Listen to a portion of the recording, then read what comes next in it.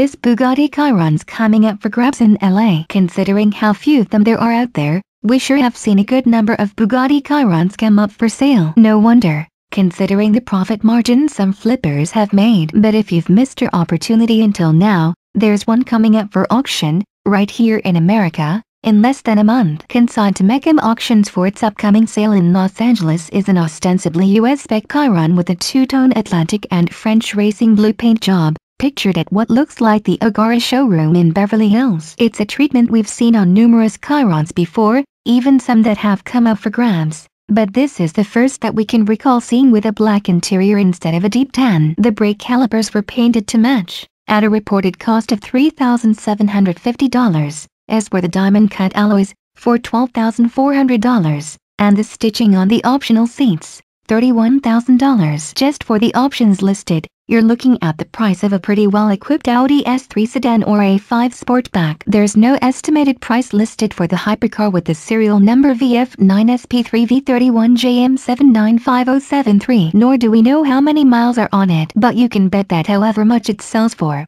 It'll have two commas in the price and eclipse everything else crossing the block at the event or most others, for that matter. Of course, like any other of the 70-odd Chirons that Bugatti has made to date, it packs an 8.0-liter quad-turbo W16 engine with 1,479 horsepower and 1,180 pounds-ft of torque channeled to all four wheels through a 7-speed dual-clutch transmission. It'll rocket to 60 in 2.3 seconds and won't stop pulling until it's hit 261 miles per hour. Even more if you manage to remove the speed limiter. But that's assuming you don't first run out of fuel, rubber, or road.